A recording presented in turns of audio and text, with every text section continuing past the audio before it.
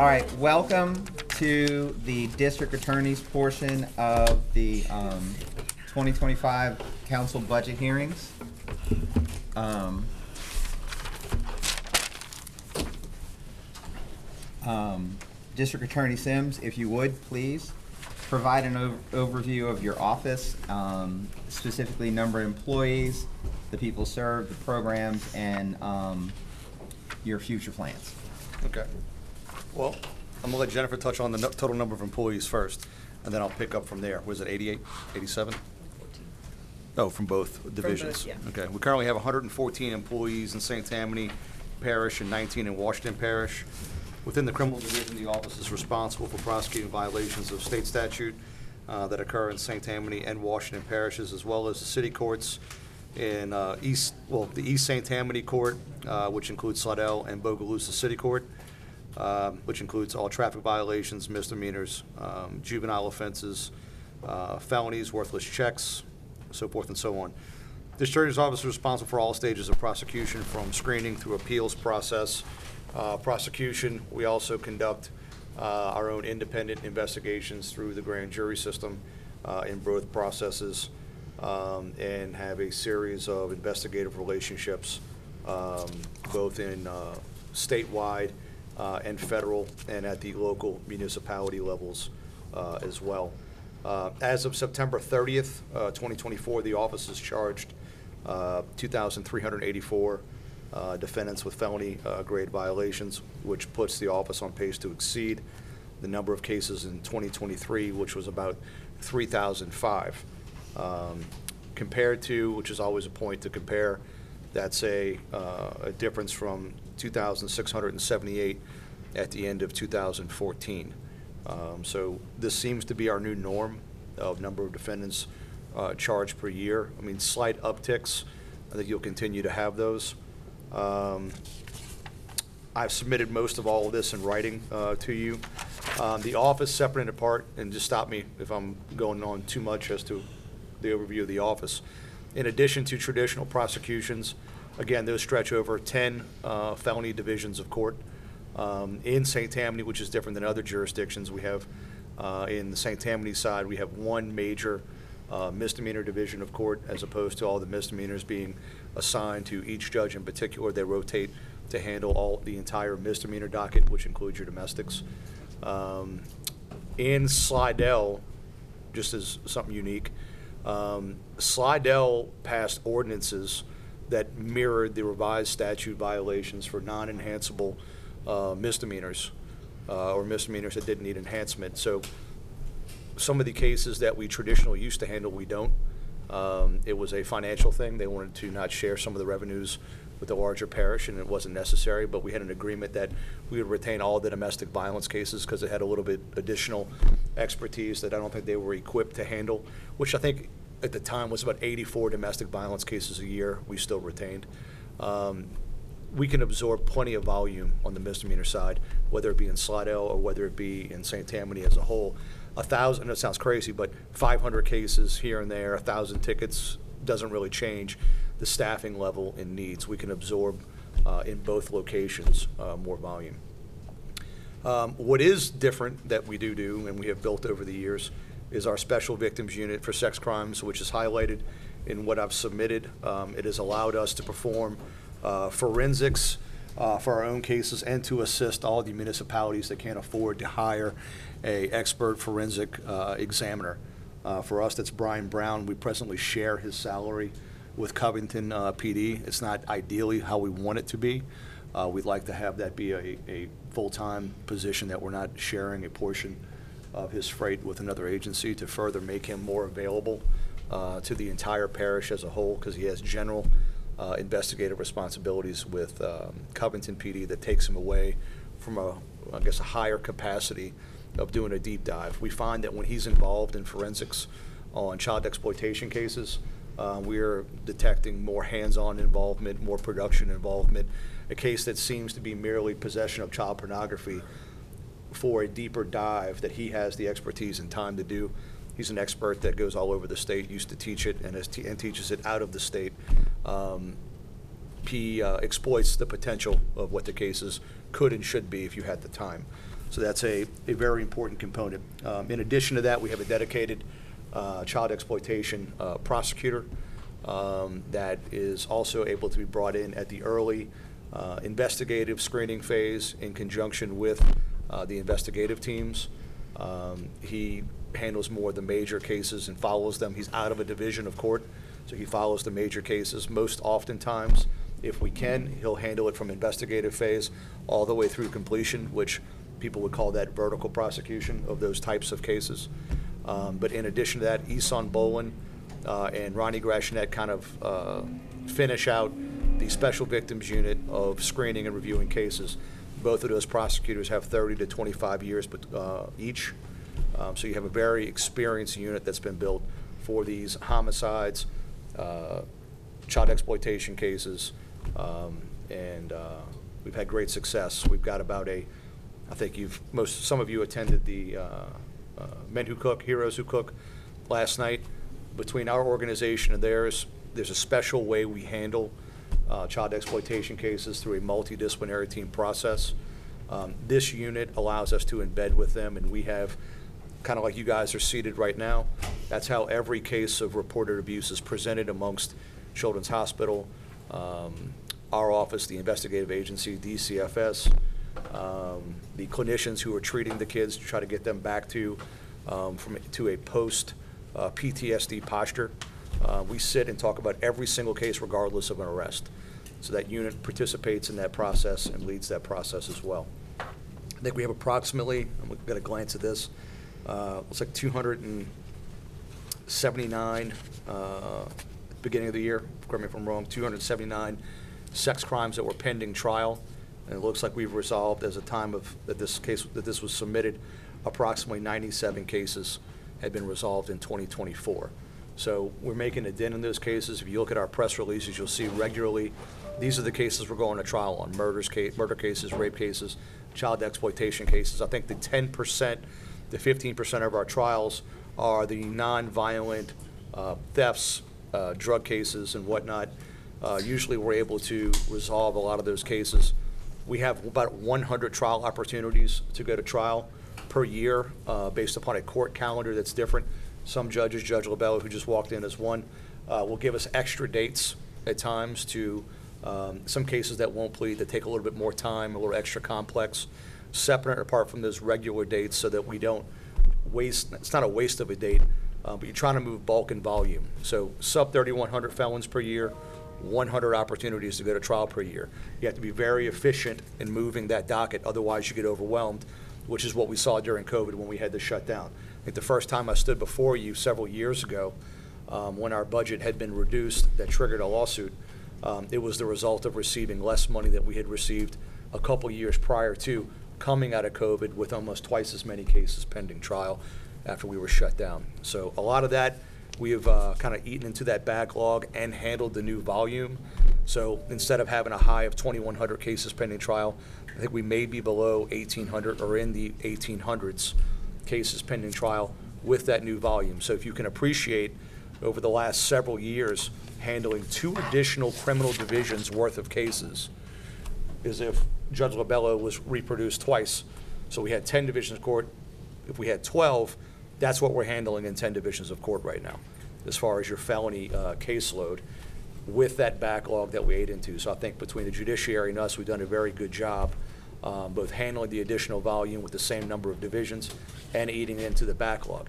The backlog comprised of more of these major cases, right? So the sex cases, the cases that no one who knew we couldn't go to trial was never going to take a plea deal. So if you're going to jail, they were going to wait us out. So we had to handle those.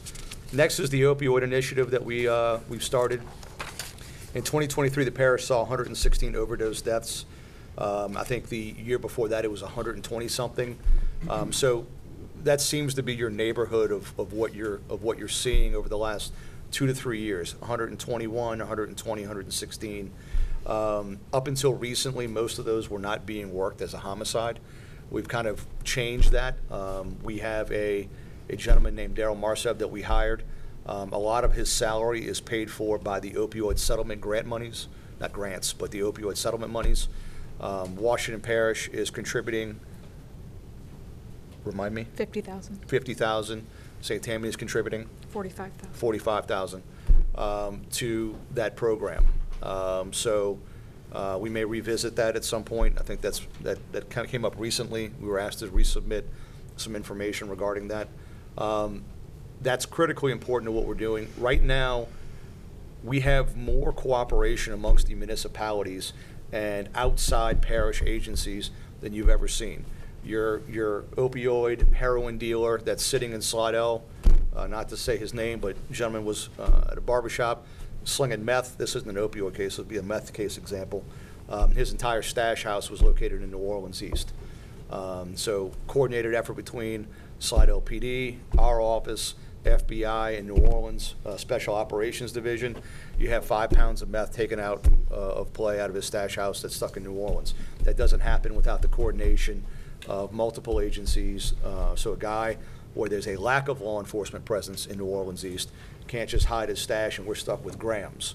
Uh, That's a waste of time. Uh, We've recently had cases where 5,000 opioid pills have come off the streets um, through, again, coordinated efforts between us, DEA, Tangipahoa. Um, We have supplemented with uh, Mandeville, Slidell, Covington, Jefferson Parish Sheriff's Office is now cross-designated in with us. They are giving us assets and financial resources through um, software programs that are being provided out of parish through none of your dollars, but to us through this cooperative effort. Um, DEA is paying some of our guys overtime monies to, again, embed with them and work on cases that impact our communities from a much larger scale, no cost to you guys.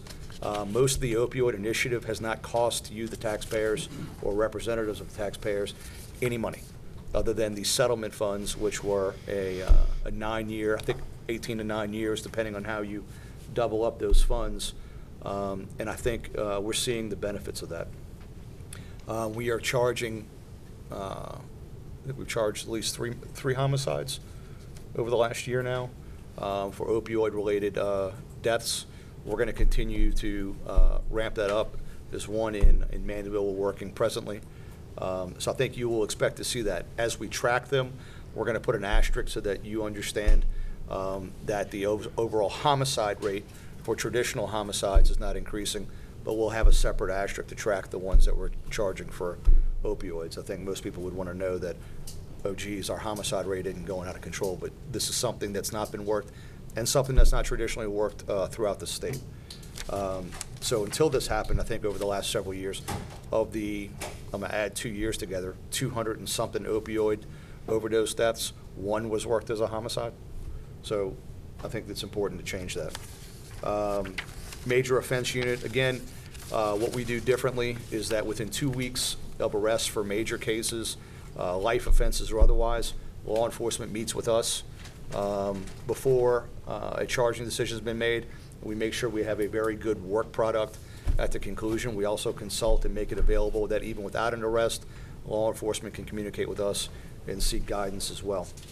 Obviously, in here, I've also outlined our specialty courts, which are primarily uh, grant-funded, uh, but also supplemented with, uh, I think, volunteer time from all agencies involved, to include the judiciary, district attorney's office, I imagine the clerk's office as well. Worthwhile program, we'll continue to do that.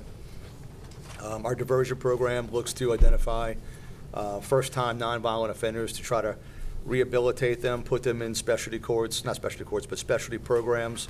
We have MOUs with North Shore Technical Community College to try to get vocational training for a lot of these guys. For those that are involved in our specialty courts, at times, we incentivize them. Um, If they are willing to go get a vocation or trade, we'll actually offer them a misdemeanor instead of a felony if they go continue uh, through that process, and we'll retain jurisdiction over the cases for that purpose. Our Child Support Division, uh, depending on, there's a uh, a federal review of non-support um, programs in each district attorney's office every year. Uh, Depending on the category, we're either one, two, or three, uh, ranked first in the state, second in the state, or third in the state for different efficiencies that we've uh, created in those programs to include the dollars that we collect. I think we collected about 19 million Um, Almost 20 million. almost 20 million um, in uh, non-support last year, or failure of people to pay child support. So critical program, um, and do a phenomenal job. and always have. And obviously, you guys know we also run the civil department, which you're intimately familiar with. You guys run the budget um, for those things. Is that enough of an overview? I believe so. Okay. All right. Questions, Mr. Cougle? Uh, DA, thank you for coming, and thank, you know, as I've mentioned over the last several months when we've been having public discussions, I mean, one of the main reasons people live in St. Tammany Parish is for security and safety, and one of the points I tried to make at the last meeting was, sometimes you don't even think about it because you're so used to expecting it here, but you know that that could change overnight if, uh, you know, if, if we don't have the standard that you're providing now. Um, One of the things I wanted to ask, and I, um, I talked a little bit uh, to the coroner about this. Um, The, they had talked about they're going to have to hire a forensic pathologist, and that, uh, i- is it your position that you were, that he is, my understanding is that the coroner has the qualifications, but your position is that you would, you would require an outside forensic pathologist to be used in any prosecutions or uh, legal work, is that correct? I'll say it differently. There's a, there's been conversations between the two agencies, and it's my understanding that the coroner will have a outs, not outside, but he will hi- hire a pathologist to do the pathology work uh, for his agency. Uh, Traditionally, over the last, probably, I guess, at least two coroners, the coroner himself has not engaged in doing the pathology work. Um, What's unique in this particular coroner is that the other ones were not certified um, pathologists to be able to do um, that work. This one is, but I believe, my understanding is, is that he is going to hire uh, someone to do it like it's been traditionally done, as opposed to taking it on himself. Okay, so some of your other uh, colleagues, other DAs in other jurisdictions, uh, the- if the coroners there are qualified, do they perform it themselves, or it's still, they tend to hire outside? I don't, I don't know about those jurisdictions. Tradition, most coroner's offices in this state do not have a certified pathologist performing their own pathology work and autopsies. Okay, and then my, my last question on that, uh, back to the SANE program we were discussing. Does the DA's office have, how and quickly do you get involved with uh, the allegation of assault or rape? And it is, is there, So it is there depends on the, logistically? the extent of the, of the case, whether it's a full-on, uh, whether it's a forcible rape, aggravated rape, um, sexual battery, you know, the, the, the degree and the facts, the particular facts drive the offense, which drives the penalty. Um, If it's an aggravated rape, then we have a mandated protocol with all law enforcement agencies that trigger our involvement within two weeks of arrest. We also allow our office to be utilized again as a consultation um, and/or uh, participate at times when necessary in the investigative part uh, of those cases. Um, No later than two weeks post-arrest for major sex crimes. Now, i- is there any negative impact to your ability to conduct uh, investigations that it has been, we now have a cooperative agreement and with Jefferson as opposed to having, doing it in-house? The, the agreements don't impact me, as long as the personnel is available to do the job. I think it affects the, the people who are willing to do the job, uh, depending on the amount of pay, um, whether they're coming from across the lake or whether they live in our own community. Um, The SANE nursing uh, program, I think, is critically important because these people have specialized training in how to communicate with uh, victims, and for purposes for us, it's also down the road quasi-evidence collection right? So just like any, anything else in particular, um, you know, I don't want to have a narcotics detective uh, communicating with a child sex victim. I don't need an ER doctor communicating with the same. It's a different type of specialty, it's a different type of training, and just because you're a doctor doesn't mean you're uniquely qualified to walk through the dialogue that's necessary for victims. So I think the SANE program is critically important. You have anything to add to that? I would just say, you know, I've had cases where a, an ER nurse has done the collection for a rape kit. Um, and it is very different than when you have a SANE nurse performing that because the SANE nurses are trained to document exactly where they're taking specific swabs from, which can become very critical when you are going to trial. Um, it can become a dispute as far as where a swab was specifically taken, and if each of those swabs are not documented accurately, then it can become an issue as far as where exactly was that taken? Could that just be an accidental deposit of DNA? Um, those issues do become heavily relevant when you go to trial, and so it is really important to have a qualified person doing that collection and documentation. So under the new, I don't want to say, reg- well, current regime, or now that the cooperative agreement, do you have less access to a sane qualified person because we're now using Jefferson? I don't think so. Okay. Is, is, is, again, as long as the, the employment is attractive to the people who have the certification and qualification. If the rate of pay is less, which I understand that it is, um, then that could diminish at some point in time, right? So as long as the, the people who are qualified continue to want to do their job, we're not impacted. I don't, regardless of who administers it, the training is going to dictate evidence collection and communication and questioning. And then the last part is, is that the people who, if you have people that are trained to do this regularly and are regular communication with us, they know the protocols, they know the questions, they know the preparation, they know the suppression issues, because they've either dealt with them or had to testify for us. So they're far more trained to also testify, understanding the different exceptions that allow that evidence in, and not falling afoul of doing things that they shouldn't do, which could bar us from using the materials at all. I- guess, yeah, in my bottom line, I'm, I'm sorry, I just want to make sure I understand, is, is the change to the new p- way of doing it, so you, it is not impacting? It'll have the- zero impact on us as long as there are people who want to do the job for the way that it's structured and what's being offered. Okay, thanks. Looking to my, oh, Mr. Phillips. Uh, When you mentioned, I guess it's through the cooperative endeavor, With the whom? other uh, parishes are picking up some of the, some of the funding. What was that for? What was that for? Oh, opioid initiative. There was a, there were opioid, there was lawsuits across the state. Uh-huh. Uh, There was a a massive settlement, and each sheriff's office obtained an X- X amount of money of a settlement against Big Pharma for opioid litigation. Sheriffs got their monies, and then the rest of the uh, monies in each parish had to be split amongst uh, multiple stakeholders that were participants in the litigation. And so we meet with uh, President Cooper's office and a, and council and various other uh, stakeholders, fire departments, uh, hospitals, and Okay. yeah. very, a lot of people. And so everyone kind of puts in um, what they would like to see for their respective agencies. Some need equipment, Narcan, uh, training, education.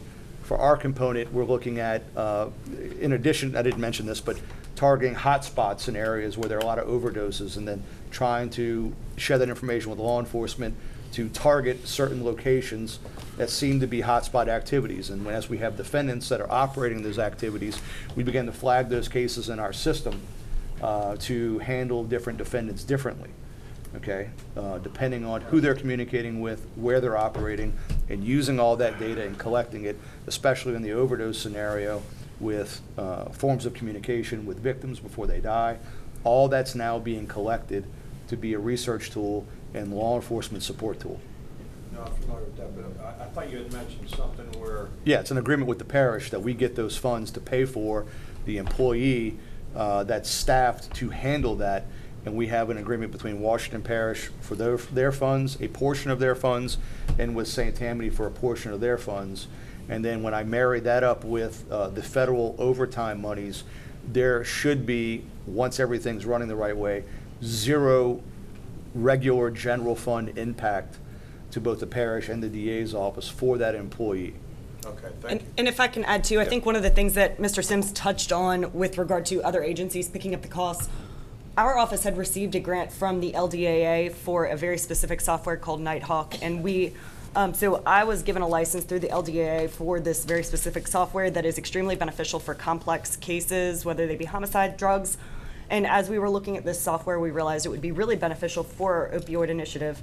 However, that first license was given to us by a grant, and it is very expensive to get that. So when we had this investigator assigned to all these different jurisdictions, working with Tangi and JP and all these other um, jurisdictions who are collaborating to try and make progress, they decided that they wanted to utilize this software as well because they saw the benefits of it. And so they agreed that the uh, investigator from our office who is task force with them, they would give him a license through their agency because his work is benefit, benefiting both their agency and our agency. So we are able to reap the benefits of their, um, their cost with regard to this software. Right, that, that was what I was leading up to. How, how much does that save you? So the license, I believe, um, you know, it, it depends on how many people are getting it, but just for one, I believe it's about thirty-five hundred dollars. But then it, uh, you also have to pay for the training, and so that's an additional three thousand dollars. And then if you want the advanced training, that's an additional three thousand dollars. So the more that you begin to utilize that software, you know, the more savings that it is to us. I mean, it's thousands of dollars. Thank you. And a separate comment is that we actually have two individuals uh, task forced with DEA. The other one is another gentleman, and his, him being embedded with a DEA group has also uh, produced approximately $400,000 in asset forfeiture dollars uh, to us, even though the monies were seized in another parish. So it's, it- it's substantial then, what you're saying? It can be, as long as it's done right. Okay. All right, Mr. Impastato, then Mr. Corbin, then me.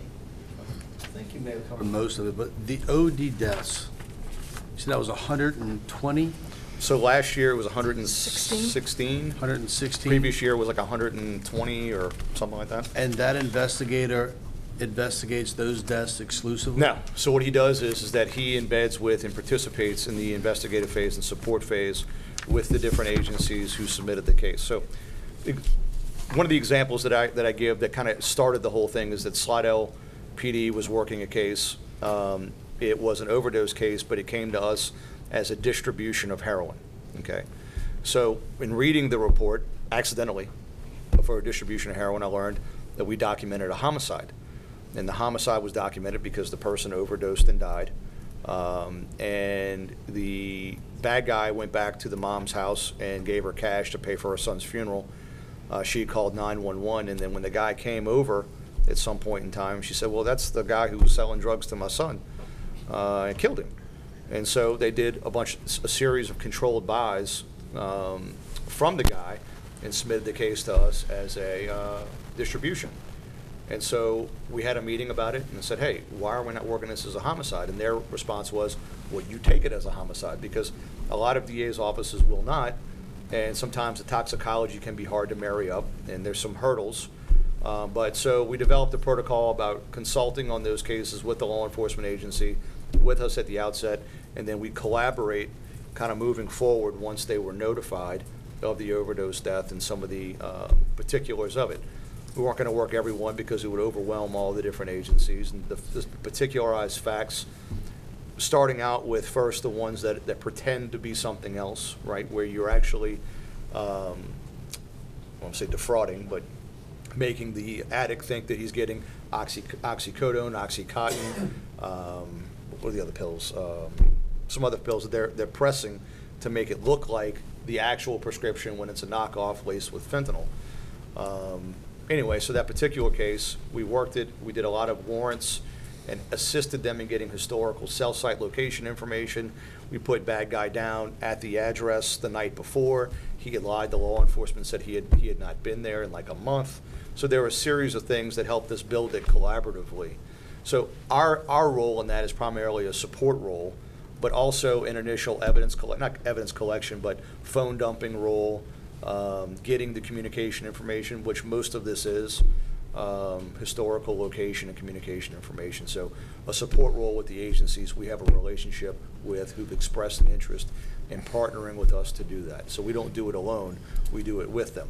The part that we are doing for them as a service is collecting all the communication information of victims who are overdosing and dying and making it available to law enforcement so that when they stop people or they have regular drug cases and they want to look at that communication between the drug dealer and drug user, then you marry those communications up to say, I wonder if he's been in recent communication with someone who's died. And so as you collect that and build that database over time, and you do different drug cases in the future, and you re-reference that back, that's going to trigger you how you handle that particular person. Is he just a drug user? Is he just a small-time drug dealer? If he's responsible for providing things that are referenced as killing someone, then you trigger your resources and handle them targetedly differently. And the current funding you have for that is satisfactory? No, but it's, it's, it's satisfactory for where we are at this stage. Okay, as we're building it out. But as the, as you start, you know, a little too thin in, in how many cases are being successfully worked, that's gonna build the interest, and then we'll be working a larger percentage of the hundred and twenty. As you do that, that becomes, that's a different, all of it will be data-driven. So if, if I say something's changed, I'll show you the data that says this is why this has changed. This is why this amount of investment is no longer satisfactory, because we were doing this, now we're doing this.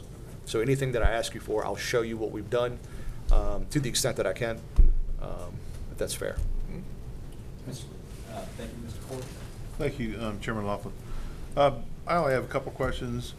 Um, Colin, on the, can you, can you just very succinctly describe the warrant process, what a warrant is? I don't mean like giving, I mean ha- relative to staffing. Right. If you could So we describe have that, thirty, then- Go we ahead. have thirty warrants that are regular warrants assigned to the entire twenty-second JDC. Uh, each warrant is worth fifty thousand dollars. The warrant can only be spent on a portion of a prosecutor's salary or an ADA's salary. Um, We have 30 warrants. We've had 30 warrants for almost 17 years. Um, So it's been the same number of warrants provided to us from the state of Louisiana uh, for 17 years without an increase in the number of warrants. The value of each warrant has gone up over time um, incrementally, but the number of total warrants associated and assigned to our office and our, our jurisdiction has not increased. And so anything that you're going to do above fifty thousand dollars has to be supplemented by uh, other funding, right? So your benefits, your health care, all of that has to be uh, separately funded. Our contribution to the retirement system. Uh, So if you don't have any dollars or funds to marry up to a warrant, um, which was, if we were to find ourselves in the, in the, uh, in the position uh, that was originally submitted, you may have seen us returning money uh, to the state of Louisiana, because if we don't have sufficient funds to marry up to the warrant, it, it's a cask, it's, it's a, you're hurting yourself twice, because now I can't marry any of the funds to the warrant, I can't use the warrant, and now I find myself returning fifty thousand dollars to the state. So the, the potential cut to the district attorney's office of fifty-five percent would have had a, a larger cut because it would have caused us not to be able to utilize state funding and us just returning money to the state of Louisiana if we couldn't pay for at least thirty ADAs. And you, I, I can't remember the date. I know you just said it a second ago for Yes, sir. when, how long have they've been that way? Thirty years roughly? We've had thirty? We've had thirty for seventeen years. 17 years. What would be a prudent, a realistic number? Not blue sky, but what, what, where, sh- where do you think, what's your assessment where we should be right now? I think the proper number would be in the neighborhood of forty. Okay. uh, 40 to 40, I know this sounds silly, but 42. Um, And honestly, if you look at other parishes like Orleans that has 90, uh, Jefferson that has, I think, in the mid-50s to almost 60, something, something like that, maybe it's a little less uh, in that neighborhood. The difference between, uh, I know I've mentioned this in many uh, meetings, um, between us and Jefferson Parish, in years that I've checked, in the number of defendants charged with felonies, it's a difference of fifteen percent more uh, in Jefferson Parish. Um, There've been years where we've had the same number of jury trials as almost Jefferson and St. Tammany Parish. So to have the type of growth that we've had in this, uh, in this parish and not have uh, the warrants keep up and keep pace with that um, has put a greater strain on you, the parish, to further supplement our funding. And just to, just kind of play this out to the end, so if you, if those warrants are worth fifty thousand each, it's roughly five hundred thousand if we went to, let's say we went to forty.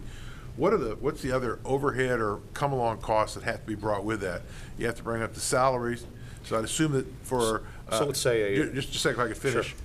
I, I would assume that that's gonna like almost double to a million, and then you've got support staff that might go with it. So you'd have five hundred thousand dollars that comes from the state, we get five hundred thousand dollars that, I'm looking at like downstream in the 27, 28, 29 timeframe, when our future budgets, you might come back and say, hey, we got our additional warrants. I'm just trying to understand what, what other costs would be associated with the state giving us an additional five hundred thousand dollars? Is it another million? Is it seven hundred fifty thousand dollars to complement that five hundred thousand? Depends. They've also changed the rules with warrants where you can split and stack them now. Okay. So, you know, depending on the programs that we're running, the staffing needs at the time, um, I may have a, have a scenario where for some reason we become investigator needed heavy, or that's the area to expand uh, more than ADAs for some reason at that given time. Um, Then I can stack a warrant and pay hundred thousand dollars of an ADA salary as opposed to fifty. Now I'm asking you for less money Right. um, in those examples, in those instances. Um, Or I can split them and then supplement even greater and have, uh, you know, the other 10 warrants supplement the 30 that I have to a greater extent of total salary, asking you for less money. But if we continue to expand out as the book of business increases, then it'll be, you know, for a five um, to seven-year uh, ADA who is a experienced litigator, you're going to start paying between eighty and hundred thousand dollars a year just in salary. Um, we now have gone from a zero percent contribution. I don't know what the future looks like to a what is it? 12, 12.25 percent contribution in retirement. Our health care seems to be almost doubling. So anything you marry up from a benefit standpoint to the salary is what you'd have to ask for if I if I used one warrant to each ADA. So. If, uh, if I can, so your benefits Sure. are probably what, thirty-five percent? what? Thirty-five to forty percent if you, okay. That's probably what they're averaging now. So, for I'll refer everyone. to Jennifer on that. Yeah, I, I, I like to work in raw, rough order magnitude numbers is all I'm looking for. If we had five hundred thousand, if you get five hundred thousand dollars, assume those are ten positions, can we expect, is that, and assuming they're each individual positions, is that another five hundred thousand or another million that has to come along? I think the with easiest way to 500? do it is to take the, uh, take all the attorneys category, and by the percentage increase to the total number of warrants you receive, increase your salaries and benefits respective to the number of employees that are ADAs that have a warrant. Okay. Jennifer, can you give me just a round number? Well, I don't think, I mean, right now, we, we have 47 ADAs.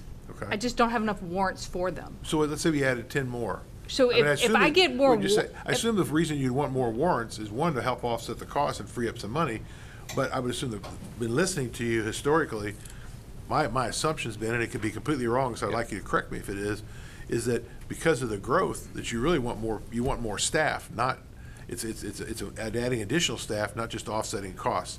Two If that's, things. if that's incorrect, I'd like you to correct me now, Well, so it's I not know incorrect, that. it's just, it's not just that simple, it's not just an answer. So, right now, traditionally, this DA's office ten years ago operated with, there is a group of attorneys out there that are experienced, waiting and praying to come work in St. Tammany Parish as a prosecutor. Well, they're not getting experience in traditional venues any longer, and so ourselves and Jefferson find ourselves training our own, where Orleans used to be the charity hospital of litigation, that training's gone. Mm-hmm. So now we're training our own. So we need to hire entry-level ADAs that are getting ready for the next person who's got ten years of litigation experience that I can't pay two hundred grand to and wants to leave, next man up, which requires overlapping that I don't have. Right. So traditionally, we've been stuck over the last four or five years. I have the ADAs that are assigned the immediate book of business in front of them. I have no one in training unless I go grab them and poach them from another office, which we have been doing. So if you want to begin to train your own and have your next group in a normal planning model where you have different experience levels, you understand your normal attrition rate and factor all of that in, then I need to be able to do that. Okay. I, I- what I'm trying to understand, uh, I'll be, I'll be cut to the chase, maybe Jennifer, you can just send me a note and answer it. Sure. At some point in time, you're gonna have, you're gonna have cost increases above and beyond inflation. I'm just trying to get a sense of what that future liability might be if you're successful. You've talked extensively in meetings that I've been in about the need for more warrants. I don't assume those warrants are, are just gonna be to offset salary today, that you got a bigger picture than that. So I'm just trying to understand, get, just get a sense, are we're looking at another million dollars in- in two or three years? We're we looking at five million dollars in two, more in two, three years? That's, that's all I. Right. And he's The- the- talking about both, because we do have, we do have ADAs without warrants right now. Yeah, I understand that. So it, it's both. It's to offset, but to add more. Okay. So it's, it's a mix of the two. What should we be thinking about in terms of future liability? Super simple. Take the number of ADAs, take the salaries and benefits associated with them beyond the warrant, take the percentage that we're looking for by way of new, if I say it's, if we have thirty and forty is the number, whatever that percentage increase is, and take the salaries and benefits that are over fifty thousand dollars in that range of employee, and that'll give you the number. Okay, Jennifer, can you get us that? Sure. Thanks. It's All right, probably about a um, hundred thousand So, per. I can't calculate it as I sit here. Why is so hard? You mentioned uh, asset for- forfeiture? Yes, sir. Okay, Guys, mi- mics are hot, don't forget. Um, Asset forfeiture, how much do y'all get usually for, just out of You just looked at it. It, it fluctuates from year to year. Um, and, and you're talking, if you're talking federal or state, last year federally, like you said, the program he was talking about, the seizure that came in was three hundred thousand dollars. And does that- That's, that doesn't happen every year. Yeah. Um, usually, last year we brought in a hundred thousand, like hundred and fifty thousand dollars on the state level. that could go, next year, we might get, bring in twenty thousand dollars. It all depends on what gets ste- seized out there on I-12. When that mean, happens, that's- though, do they give you the physical assets or do they just liquidate them and give you the cash? Depends, like, the- what's, what's taken, like cars are sold, liquidated, or repurposed by law enforcement. There's a limited purpose to the assets and what they could be utilized for. Right now, we're, we've only taken cash. DA Sims, uh, so in, in December, because we did something like this with the uh, Highway 90 bridges recently, we passed a resolution, just a resolution for us, as you know, is, is a sense of the council's position on something, and actually, it actually got a lot of traction, that particular resolution. Would you, I'd, I'd be interested possibly in December, introducing a resolution to request additional warrants, because I know we've been talking about this for over a year. Sure. And it will at least get some, ideally, some attention to it, uh, and we, but I, I guess my number, my question for you, first off, is that something you'd be interested in? And second, how, what is the number you, that you believe is justified? I think 40 warrants is a, is a, is a reasonable number of warrants. Uh, You know, we'll be competing with other offices uh, to get additional warrants uh, next year. Um, We've been in communication with the reps and going through the process. The LDAA is starting to put together a little primer to educate all the representatives so we can make a pitch. There is a process to all of it. Okay, so you think 40 would be justified? Well, 42 would be great, but I think 40 is, is is sufficient. Okay. All right, Yeah. looking to my right, looking to my left, I got one more. Take us home, Rick. In that diversion program, what are those uh, funds that you all get from that? What, what, what are they restricted to? Uh, You can't make money from the program, so you have to cost allocate uh, the monies that come in from the program to the expenses of doing it, employees' time and handling and managing uh, the different third-party uh, uh, programs that, and track them, uh, call them and communicate for drug testing purposes. So you have case managers assigned to uh, the department and the staff. It's not a money-making program, Gotcha. so it can't, DA's offices have gotten in trouble for making money off of diversion. Okay, understood, thank you. I do have one last thing I'd bring up. Yep. So I think we are, we have sent at least a draft of it. We are going to ask that the current MOU or CEA that's in place with us now on uh, how the monies are funded to the DA's office uh, be amended. So the CEA that's in place, so not talking about the long-term CEA, um, but the uh, CEA that was signed in 2000 and, what was that roughly? Twenty- 17? 2017. When we transferred the salaries and benefits, the payroll to us? Right. So we're going to ask that ultimately that be amended so that we get a, a twelfth of our budget at the beginning of each month, uh, sent over by electronic transmission, and then quarterly, we will provide data on how we're spending the money in whichever format you guys find most efficient to show you how we're spending the money. It also asks that we can transfer between line items, any Yep. and all line items. Um, Is to update the procedures. that Yes, and to Yes. up- Put in place before. Correct. How the money's handled. Yes, ma'am. Yes. Our And the re- Right budgets. now, we're on reimbursables. Okay, you can send that to us? I think we just sent it to Mary. I thought I'd already sent Okay. it, but I hadn't sent it yet. Mary's got it, Mary's okay. over here, right? If Mary So- has it, we're safe. And what we've sent, it will be the current with the proposed change for the paragraphs that we are proposing to amend. Okay. And then Mary, just for technical, that would go through the administration, then back to us? Okay. All right, looking to my left, last chance, looking to my right. Administration, we're good? Guys, thank you so much for coming, we appreciate it. Great job, thank you assignment